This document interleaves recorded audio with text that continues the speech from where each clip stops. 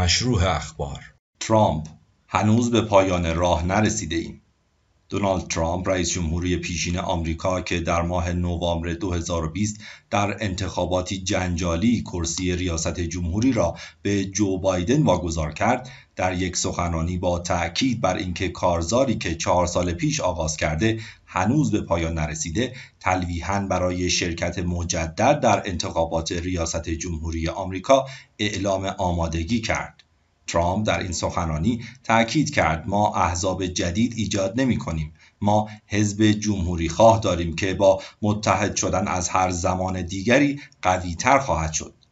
او اخبار منتشر شده درباره تصمیمش برای تأسیس حزب جدید را فیک نیوز خواند و وعده داد در انتخابات پیش رو دموکرات ها را شکست خواهد داد و به جنگ سوسیالیست ها و کمونیست ها خواهد رفت رئیس جمهور پیشین آمریکا با انتقاد از دولت جو بایدن ماه اول ریاست جمهوری او را فاجعه بارترین ماه اول یک رئیس جمهور در تاریخ معاصر توصیف کرد.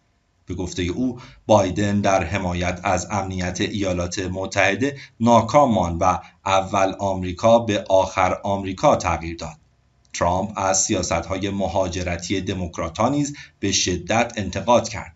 او آنتونی فافجی اپیدمیولوژیت و عضو ارشد تیم ویژه دولت آمریکا برای مقابله با ویروس کرونا را در زمینه انتشار کرونا مقصر دانست و گفت که جو بایدن فورا مدارس را بازگشایی کند.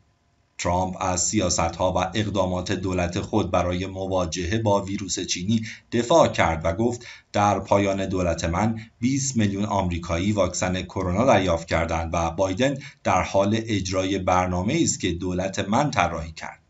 رئیس جمهوری پیشین آمریکا در ادامه انتقادات از رئیس جمهوری فعلی گفت بایدن تحریم ها را از روی برخی کشورها که مشکلات عدیده ای از جمله تروریست دارند برداشت او ادامه داد دولت من توانست به ورود آمریکا به جنگ های بی پایان پایان دهد و توانست بدون خونریزی و به توافق صلح در خاورمیانه دست پیدا کند ترامپ به سیاست بایدن در قبال ایران هم تاخت و گفت که تلاش او برای مذاکره با ایران آمریکا را در شرایط غیرمنصفانه قرار می دهد.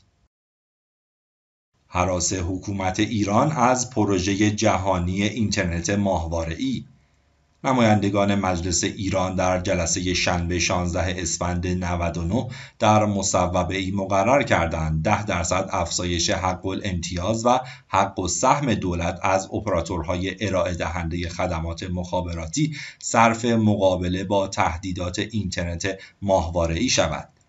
اینترنت ماهواره‌ای می‌تواند اختلال در اینترنت و فیلترینگ شبکه های اجتماعی که در چند سال اخیر و با گسترش اعتراضات عمومی و ظهور پدیده شهروند خبرنگار به رویه‌ای معمول در ایران تبدیل شده را بی اثر کند.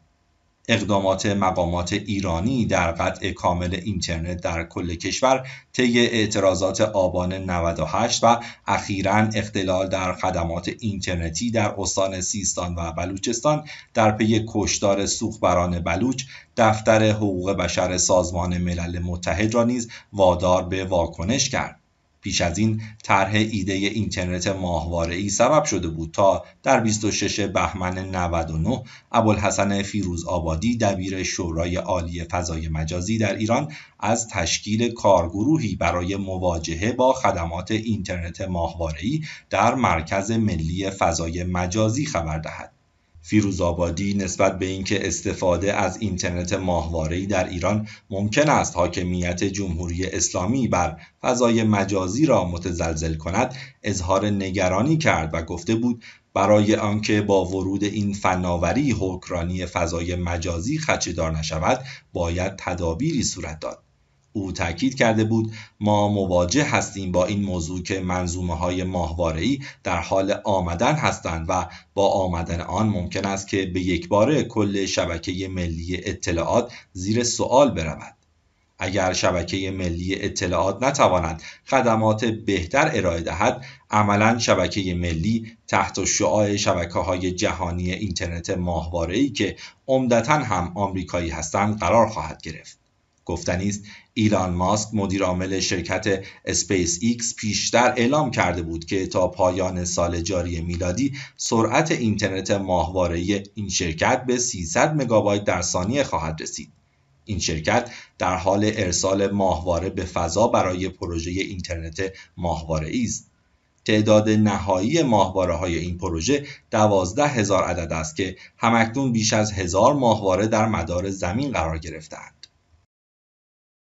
اظهارات جنجالی محسن رضایی درباره مذاکره با آمریکا سخنان محسن رضایی دبیر مجمع تشخیص مسلحت نظام ایران و فرمانده اسبق سپاه پاسداران در رابطه مذاکره با آمریکا های گسترده ای را در ایران به همراه داشت. رضایی که گفته می شود یکی از نامزدهای انتخابات ریاست جمهوری ایران در سال آینده خواهد بود در مورد مذاکره با آمریکا درباره پرونده اتمی گفته که ایران زمانی حاضر به مذاکره با آمریکا و قدرت‌های جهانی است که سیگنالی روشن در خصوص رفع تحریم‌ها در یک سال آینده دریافت کند چهره شاخص اصولگرایان رضایی که یکی از چهرههای شاخص اصولگرایی به شمار می رود در گفتگو با روزنامه فاینانشیال تایمز اظهار داشت. آنها با تضمین لغو یک ساله تحریم هایی که پس از برجام وضع شدند می توانند از ما بخواهند که به مذاکرات بازگردیم. رغم مواضع تند ایران این سخنان که گویاترین اشاره از سوی یک مقام ایرانی جهت مذاکره با آمریکا تلقی شده است واکنش وزیر خارجه ایران را در بر داشت ظریف جمعه 5 مارس در این رابطه گفت مواضع رسمی دولت ایران در رابطه با پرونده اتمی فقط از کانال وزارت خارجه اعلام می شود. رضایی در سخنان خود تاکید کرد باید هر ماه طی مذاکرات شاهد کاهش تحریم ها علیه ایران باشیم. وی ادامه داد به عنوان مثال در ماه اول باید شاهد لغو تحریم علیه معاملات مالی و موانع بانک های اروپایی باشیم. همچنین لغو تحریم های نفتی از اولویت های ما برای مذاکرات است. او تاکید کرد که هر گام آمریکا به ویژه آزادسازی میلیاردها دلار اموال بلوکه شده ایران می‌تواند به عنوان هدیه و حسن نیت واشنگتن در مذاکرات تلقی شود. این سخنان رضایی واکنش سخنگوی وزارت خارجه ایران را نیز در بر داشت. سعید خطیبزاده با تاکید بر اینکه نظرات مطرح شده در این مصاحبه شخصی است تصریح کرد کلیه امور مرتبط به سیاست خارجی از طریق وزارت امور خارجه و از مجرای دیپلماتیک منتقل می شود وی افزود در زمینه مذاکرات و پرونده هسته‌ای محمد جواد ظریف به عنوان وزیر خارجه ایران مسئولیت دارد و رضایی هیچ گونه مسئولیت مستقیم یا غیر مستقیمی در این زمینه ندارد. وزیر خارجه ایران اعلام کرد که کشورش هرگز به مذاکره در مورد برجام باز نخواهد گشت. ظریف در توییتر نوشت بدون تغییر در منشور سازمان ملل برداشتن حق وتو و اجرای برجام نمی‌توان در مورد برجام وارد گفتگوی مجدد شد.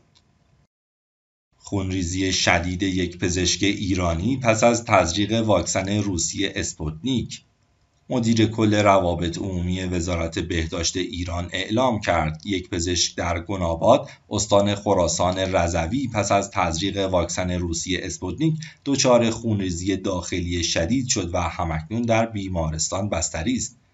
کیانوش جهانپور با تایید خبر خونریزی داخلی شدید پزشک ایرانی پس از تزریق واکسن اسپوتنیک در شهر گناباد خراسان رضوی به باشگاه خبرنگاران جوان گفت که این پزشک پس از تزریق واکسن روسی دچار علائم گوارشی شده و در مدفوع او خون دیده می شود.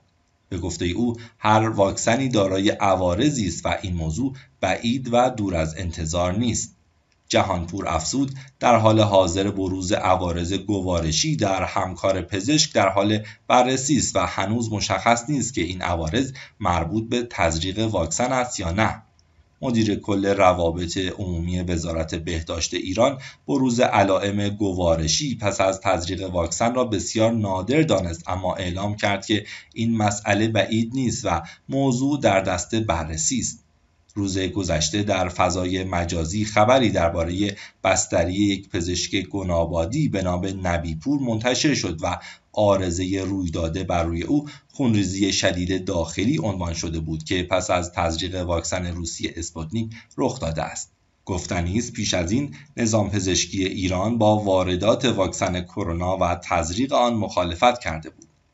حسین کرمانپور مدیر کل روابط عمومی و امور بین الملل سازمان نظام پزشکی ایران تاکید کرده بود که واکسن کرونا باید تاییدیه سازمان بهداشت جهانی و سازمان غذا و داروی این کشور را داشته باشد و مسئولیت هر نوع واردات واکسن و تزریق آن با وزارت بهداشت ایران خواهد بود. او تاکید کرده بود که واکسن روسی کرونا تاییدیه سازمان بهداشت جهانی را ندارد. اما با وجود چنین مخالفت‌هایی چندی بعد کیانوش جهانپور رئیس مرکز روابط عمومی وزارت بهداشت ایران اعلام کرد که مجوز مصرف اضطراری واکسن روسی کرونا در این کشور صادر شده است. از سوی دیگر علی خامنه ای رهبر ایران پیش از این با واردات واکسن از آمریکا و بریتانیا مخالفت کرده بود. او علت این مخالفت را بیاعتمادی به واکسن‌های کرونای این دو کشور عنوان و ورود آن را به ایران ممنوع اعلام کرد. او همچنین گفته بود که این دو کشور در مدیریت کرونا ناموفق عمل کردهاند و ممکن است بخواهند این واکسن را روی مردم دیگر کشورها امتحان کنند. این در حالی است که واکسن کرونای تولید این دو کشور دارای مجوز سازمان بهداشت جهانی است.